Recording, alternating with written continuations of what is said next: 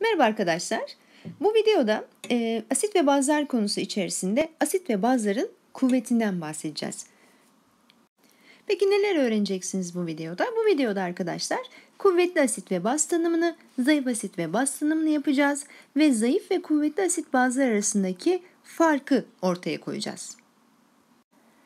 Şimdi Asit ve bazın kuvvetine geçmeden önce bir e, eski bildiğiniz bazı konuları hatırlamamız lazım. İyonlaşarak çözülme ve moleküler olarak çözülme ya da moleküler halde dağılarak çözülme kavramlarını.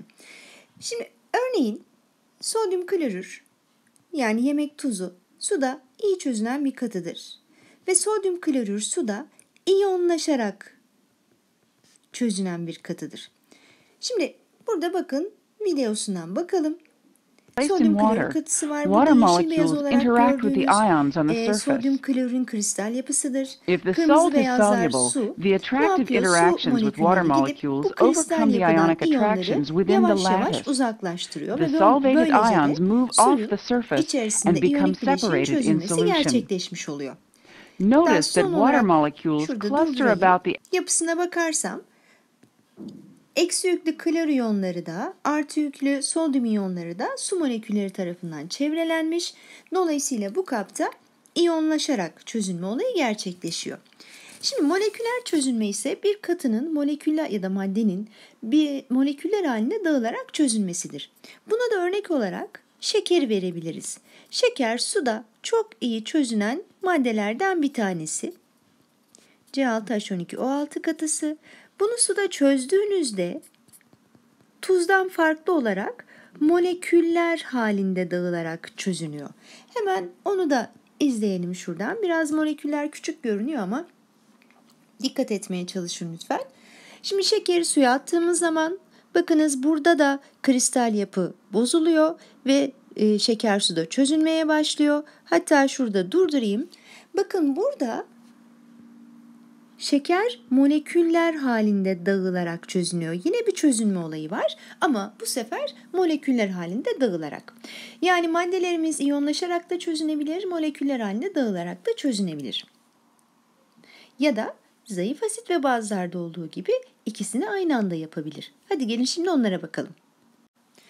Gelelim e, zayıf ve kuvvetli asit nasıl çözünüyor? Bunlardan bahsetmeye. İki tane video izleteceğim size.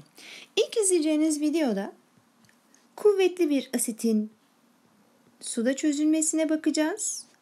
İkinci videoda ise zayıf bir asitin suda çözülme durumunu inceleyeceğiz. Şimdi e, videoya başlatmadan önce diyelim ki ben burada suya ilk videoda HA asitini koyalım. Bir değerli bir asit olsun. Suyun içine attım. Ve bunu Bronsted-Lowry asit baz tanımına göre yazacak olursam çözülme denklemini bu asit olduğu için hidrojen verecek. Dolayısıyla A eksi iyonu kalacak. Ve ortamda bir de su hidrojen aldığında oluşan hidronyum iyonları bulunacak. Şimdi gelin videoyu bir izleyelim. Contact with the water in the flask. Proton transfer from Bakın, HA to beyazlar, açık H2O maviler occurs for virtually every acid molecule. Note the change from blue to red. Therefore, a strong acid- durdurayım.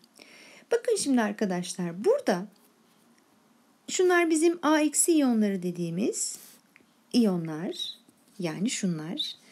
Ee, şu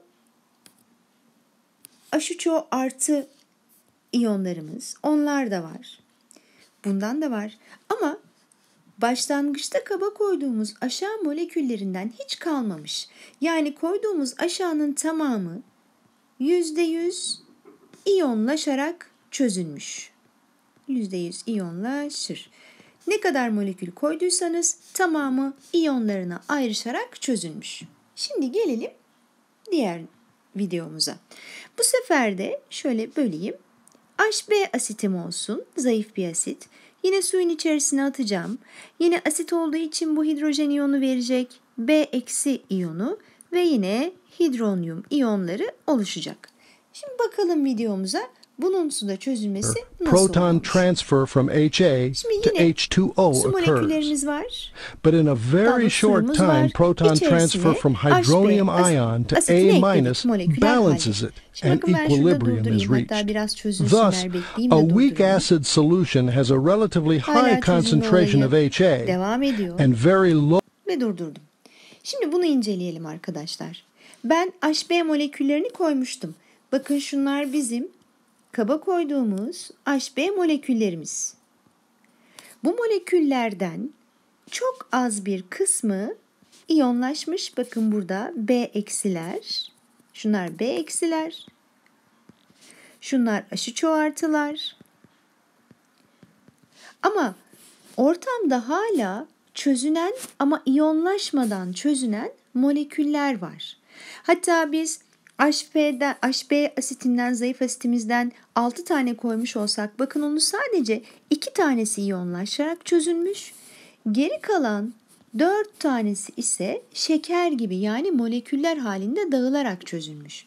İşte zayıf ve kuvvetli asit farkı budur. Kuvvetli ve kuvvetli asit ve bazlar suda %100 iyonlaşarak çözünürken aynı tuzlar gibi zayıf asit ve bazlar suda kısmen iyonlaşarak çözünür. Bir kısmı iyonlaşarak çözünür, diğer kalan kısmı moleküller halinde dağılarak çözünür. Ve kuvvetli asit bazlarda ortamda molekülümüz kalmadı. %100 iyonlaştığı için tek okla gösteriyorum. Ama zayıf asit ve bazlarda moleküler halde çözünen asit ve iyonlaşarak çözünen kısmı arasında bir denge vardır. Dolayısıyla zayıf asit ve bazların çözünme denklemleri çift yönlü okla gösterilir. İyonlar ve moleküller arasında bir denge durumu söz konusudur. Videodan da anlamış olacağınız gibi videolardan şöyle bir tanımlama yapıyoruz. Suda tamamen iyonlaşarak çözünen asit ve bazlara kuvvetli asit ve bazlar tamamen iyonlaşmaktan kastımız %100 iyonlaşmak. Tabi biz e, hepsini %100 kabul ediyoruz. Aslında %100'e yakındırlar ama böyle kabul ederek çözeceğiz e, sorularımızı da. Suda kısmen iyonlaşarak çözünen asit ve bazlara ise zayıf asit ve bazlar diyoruz. Sakın ha sakın olay e, kuvvetli asitler çok çözünür, zayıf asitler suda az çözünür. Böyle bir şeyden bahsetmiyoruz. E, asit ve bazların çözünürlüğü ile kuvvetler arasında bir ilişki yok. Asit ve bazların çözünen kısmının ne kadarının iyonlaştığı ile alakalı durum. Çözünen kısmının tamamı iyonlaşıyorsa kuvvetli, bir kısmı iyonlaşıyorsa zayıf asit olduğunu söylüyoruz. Ve iyonlaşma yüzdeleri arttıkça da kuvvetleri artıyor. Videolardan izlediğimiz şeyi son bir kere daha tekrar edelim arkadaşlar. Şimdi hidrojen klorür. Arkadaşlar hidrojen klorür kuvvetli bir asittir. HCl, Ka diye göstereyim. Kuvvetli bir asit. O zaman suda %100 iyonlaşarak çözünür. %100 iyonlaşır. Böyle kabul ediyoruz. Şurayı da hatta böleyim. Şimdi hidrojen klorün suda çözülme denklemini iki şekilde yazabilirim. Bir, Bronsted-Lowry'e göre suyla etkileştiği haliyle yazabilirim. Hidrojen verecektir. Klor eksi ve hidronyum iyonları olacak. Ya da basitçe şu şekliyle gösteriyoruz. H artı artı C ile eksi. Diyelim ki suda 1 mol hidrojen klorür çözdünüz. Şimdi kuvvetli asit olduğu için ve %100 iyonlaştığı için bu 1 molün tamamı iyonlarına ayrışacaktır. O zaman 1 mol hidrojen ve 1 mol klor iyonları verilecektir. Ortamda ise hiç hidrojen klorür molekülü kalmayacaktır. Ve bunu da tek yönlü okla gösterdiğimizi söyledik. Bakın burada tamamen iyonlaştığında az önce söylemiştik zaten. Şunlar iyonlarımız. Gelelim hidrojen florür olsun zayıf asitimizde. Zayıf asit. Hatta buna ben e, kısmen iyonlaşacak %1 iyonlaştığını söyleyeyim. E, bu benim uydurduğum bir değer gösterebilmek için. Yine hidrojen florürün suda çözünme denklemini Bronsted-Lowry'e göre yazabilirim. Şu şekilde tabi zayıf olduğu için çift yönlü okla yapacağım. Hidrojen var, verdi. F eksi iyonu ve hidronyum iyonu var. Böyle yazabilirim. Ya da basitçe yine e, şunu yapabilirim. HF suda H artı iyonu ve F eksi iyonu vererek çözündü şeklinde. Şimdi diyelim ki biz bundan da bir mol çözdük. Aynı HCl'de olduğu gibi. Buradaki fark ne? Şimdi az önce demiştim ya yüzde bir iyonlaşıyor. O zaman bu eklediğiniz bir molün yüzde biri ki bu 0,01 mole denk gelir.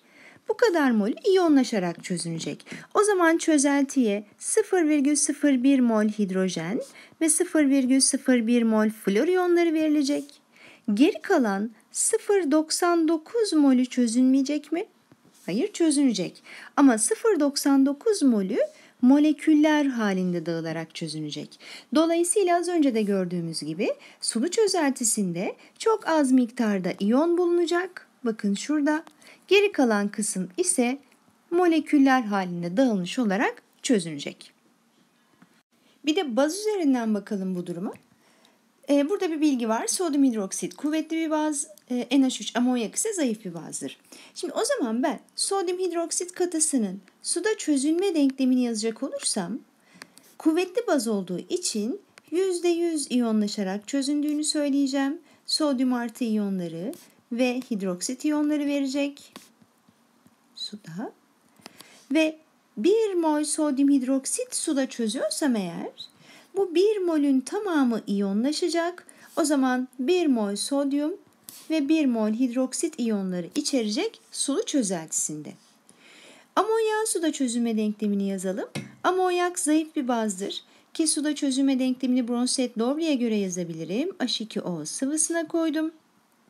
Çift yönlü okla gösterdim. Amonyum iyonu ve hidroksit iyonu oluştu. Denklemi bu. Şimdi ben bundan da diyelim ki 1 mol çözdüm. Şimdi 1 molün tamamı çözünecek. Ama bu zayıf bir baz olduğu için bu 1 molün bir kısmı iyonlaşacak. Bunu e, bana bir bilgi vermesi lazım. Yüzde kaçı iyonlaşıyor vesaire diye. ilerleyen kısımlarda yapacağız zaten. A molü diyelim.